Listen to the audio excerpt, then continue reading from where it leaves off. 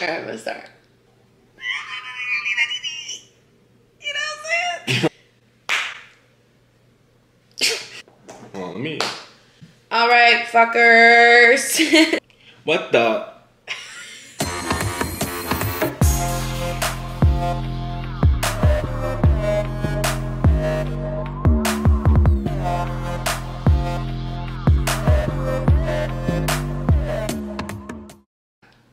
Right, what's up, guys? We're back.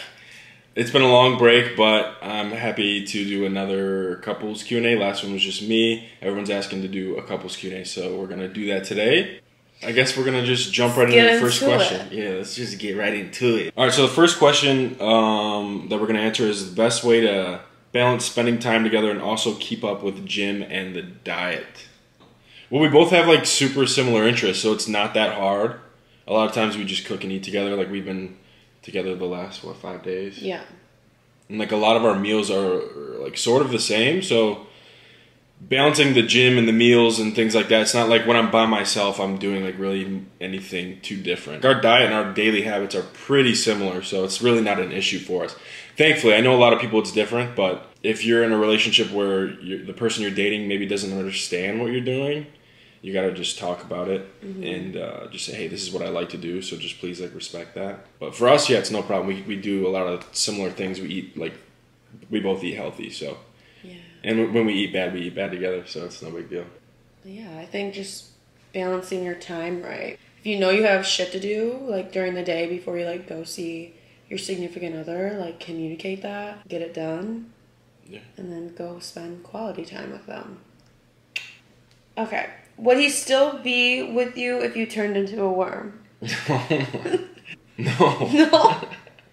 I mean, I'd put you in like I'd probably put you in like a little. Um, I'd give you a little sanctuary, so you'd be with me.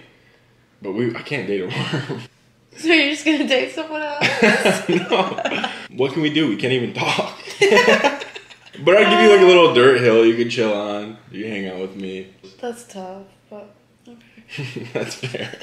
We've gotten this question multiple times, and it's how did we meet? You know, we've never really given like a full Yeah. deep dive into it, and this could take like 10 minutes to explain, but we'll try to Yeah. keep it Concise. short. So there was a house fire. Um, Caelan was stuck inside, and basically I saved your life.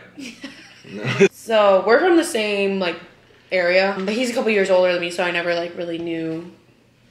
I never really knew you. You mm-hmm. know, I saw your social media page like a few times. Your social mm-hmm. media page, your fucking Instagram. Yeah.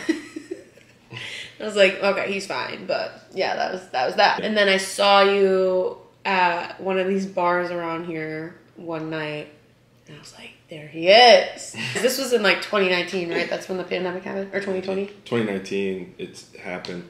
So it was like the end of 2019 or the beginning of 2020. It was summer 2020, yeah.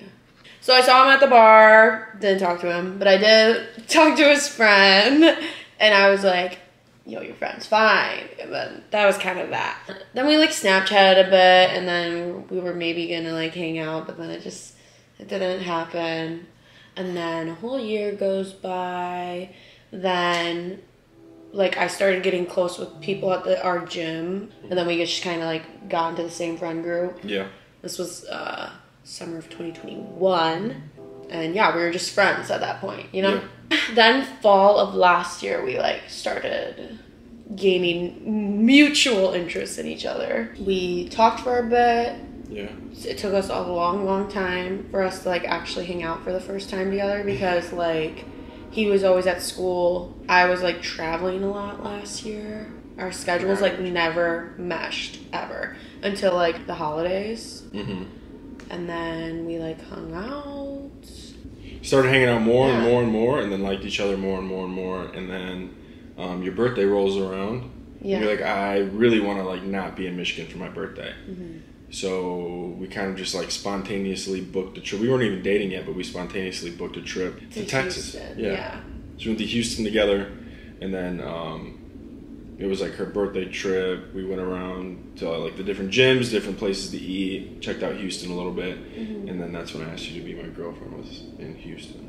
It was a good time though, and we were like, I think we were both really nervous. We weren't sure relationships were like in the cards for us, you know? Yeah, yeah. Like not just with each other, just like In general. yeah, based off like um our goals we had and stuff and our plans we had for the future. But then it just like I don't know, we just worked out really good. Sort of just made sense. Mm-hmm. Easy and genuine and yeah, we just have so much so much in common at the end of the day. It works. Don't fist bump. But yeah, that's like the story behind it. Will you ever do a meet and greet for us Michiganders? We would love to. To be honest, I, I we were talking with a couple Michigan-based coaches that are pretty big here. Yeah. We want to get something like figured out where we can get a ton of people together in a gym. We want to have like some sort of an event that we do. But we're about to move to Texas in like three weeks. But we're gonna come back for the holidays and uh, multiple times a year. So when we come back, we want to do something fun Yeah. um, where we can get everybody involved.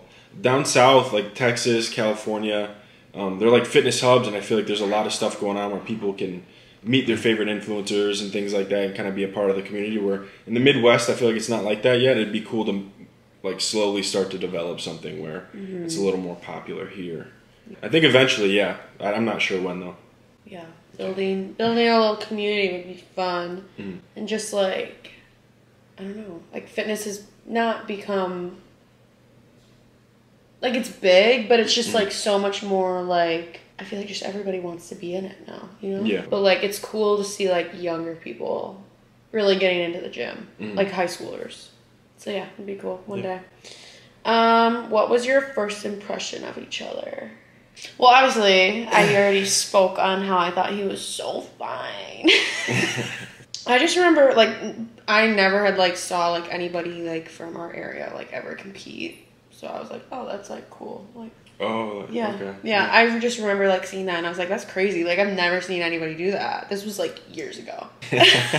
My first impression of you was just that like you lit like you worked your ass off. Like you don't Mm. see you don't see that a lot. You don't see a lot of people putting a lot of time and effort into like their health and how they eat and how they treat Mm. their body. Like every, everybody's just out here just binge drinking and like eating like yeah. shit. So I was impressed Yeah. by that, and I guess that's my first impression.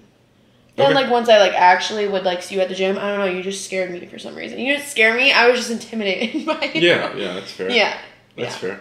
My first impression, I, I really had no first impressions to be honest, other than you were just cute. You know, I'm like, oh shit, she's cute. But then, uh, when I saw you started going to like the gym we go to now, frequently, you were like one of those people who legit would put your hood over your head and like work out with a big baggy hoodie and just uh, Especially during cardio. like not speak. Yeah. Yeah. And I'm like, whoa, that's weird. She's like didn't socialize, got to work, got in, got out, and it just made me so curious. I wanted to know more.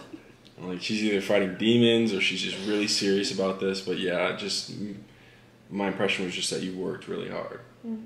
And there was this odd attraction to the fact that she wouldn't give me any attention. she would like talk to my But friends deep and not down. I was what like- the fuck is going on? Say How to be an amazing kisser. Like this. I'm sorry. Next one. How do you guys deal with arguments? It's so corny because it just seems so fake, and I know social media is so fake, but we like genuinely don't argue. We don't argue. There's times where we've had like disagreements or something will like rub us the wrong way, mm-hmm. and we just like talk through it. It's that we don't like yell or do any like toxic things. There's no like weird games. We don't like ghost each other for days or like it's we just talk about it like almost immediately or whenever we're free express how we feel why it makes us feel a certain way Yeah. and whoever's upset the other person like we genuinely just listen Mm-hmm.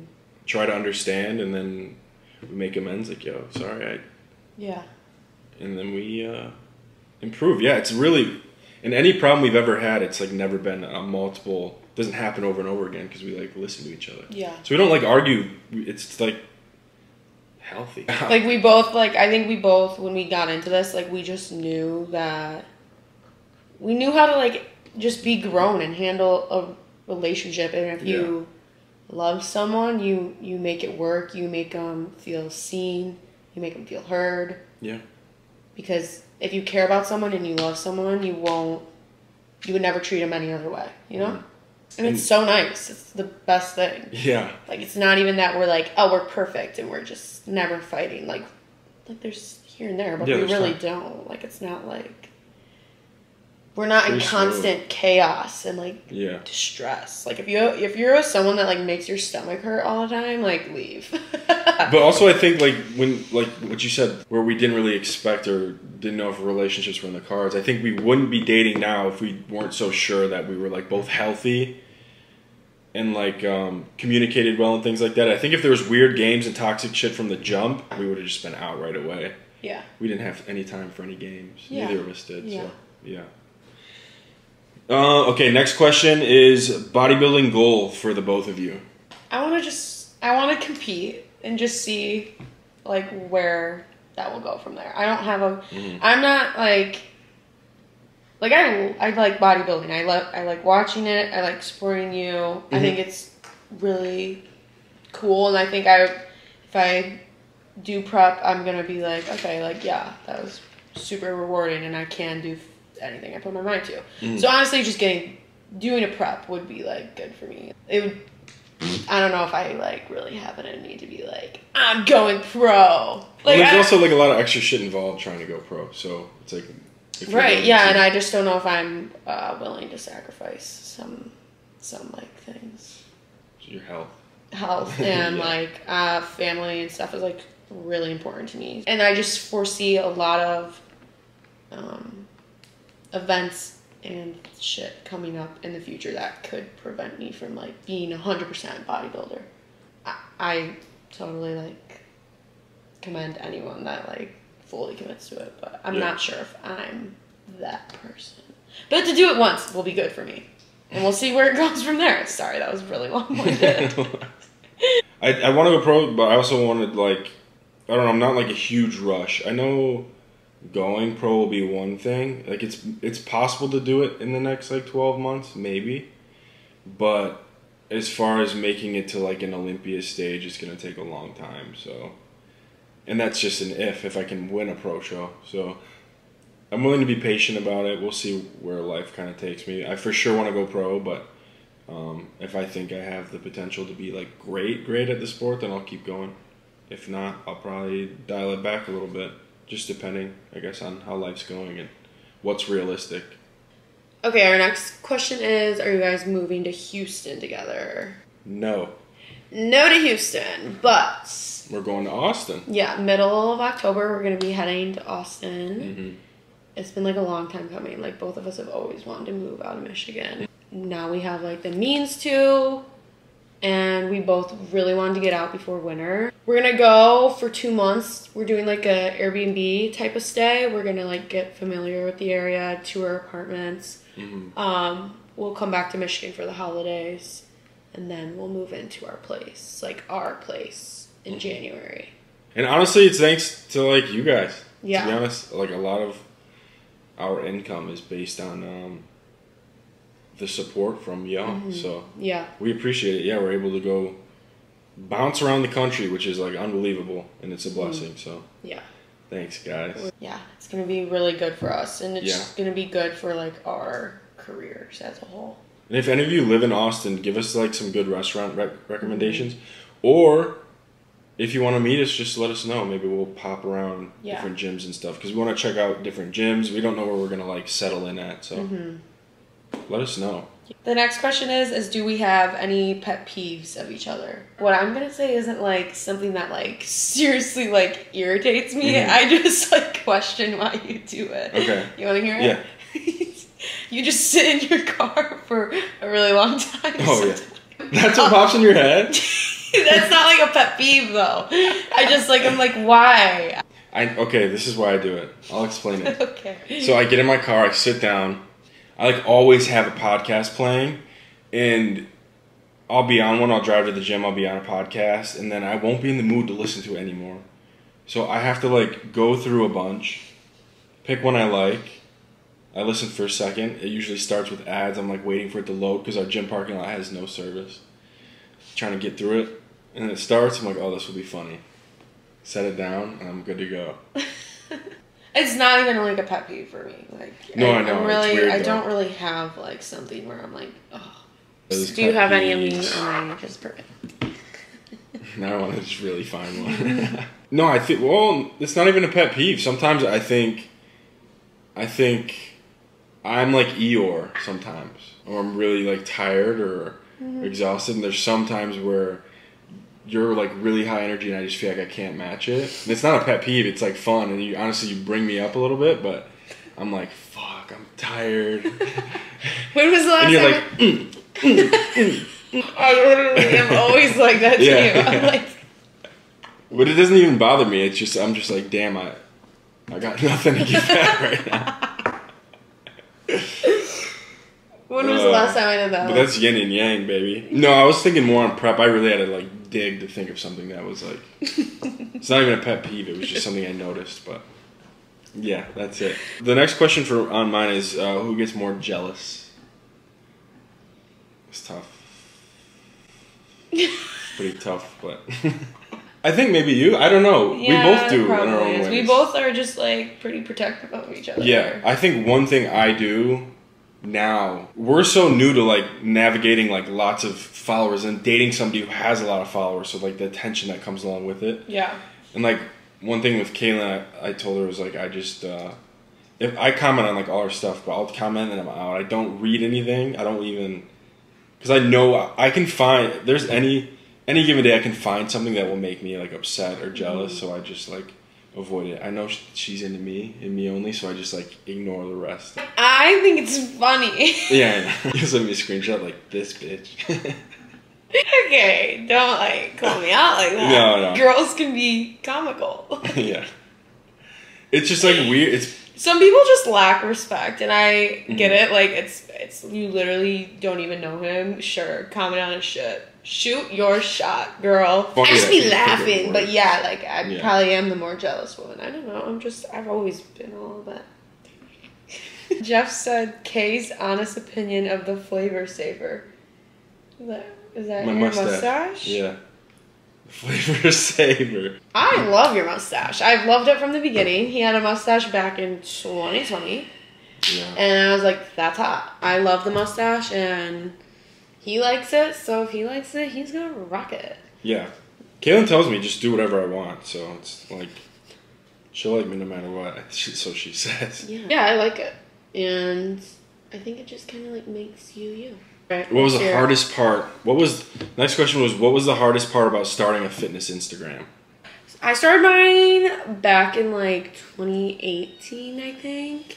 And I would just always start and stop, start and stop. Like, I just never had like enough momentum. And like, I just felt like, why am I even doing this? And I am glad that it took me a long, long time to actually be consistent and actually gain a following because, like, back then, I didn't really know what I was doing as much as I do now. And I still have so much to learn, but I just feel a lot more confident in who I am and how I present myself. Hardest part was just gaining the momentum and feeling like, you know, Comfortable. yeah. yeah. The hardest part I guess at first when I did it, I didn't at the time I didn't realize it was possible for like anybody to get really big. So it wasn't like this big business decision of mine or something. It didn't feel like there was any nothing at stake really. I just did it because it was fun.